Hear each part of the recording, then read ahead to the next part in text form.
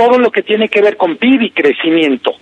Pero sobre todo, y lo hemos comentado en este espacio, Carlos, eh, entender el PIB no como algo abstracto, sino como la consecuencia de decisiones de agentes económicos.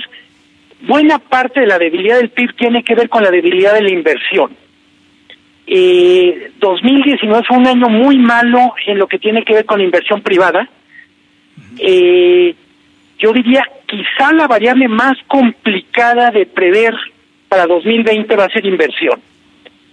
eh, ¿Cómo van a reaccionar las grandes empresas, pero sobre todo las pequeñas empresas, en un contexto donde ya se despejó una de las variables, que era el Tratado de Libre Comercio 2.0 o TEMEC, pero donde el propio Banco de México en la minuta reconoce la incertidumbre respecto a las políticas públicas es un factor que pesa mucho en la inversión. Se volverán Hay un más contraste ahí en eso de la inversión, Luis Miguel. Hay un contraste entre el discurso del gran empresariado mexicano con lo que realmente están poniendo de su cartera. Es decir, hay una diferencia, hay mucha distancia entre la boca y el bolsillo.